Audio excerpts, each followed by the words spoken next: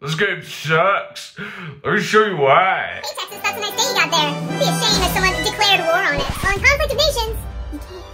It pays to be aggressive, so let's start a war right off the bat. You're gonna want to move all your troops super close to the border. I am going to go to war with Texas.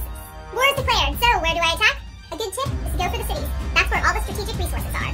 Play your cards right, and the bombs. Declaring war on California. Playing as Idaho, because no one suspects Idaho. I'm taking Sacramento. Now I'm sneaking my way through to San Francisco, cutting California in. Made an alliance with Texas. That's about time. Checking the CON news to see how I'm doing. Ranked sixth most hated nation. California isn't even on the top 25. Now that's fake news. Total estimated budget for this war, 9.3 billion. It's worth it.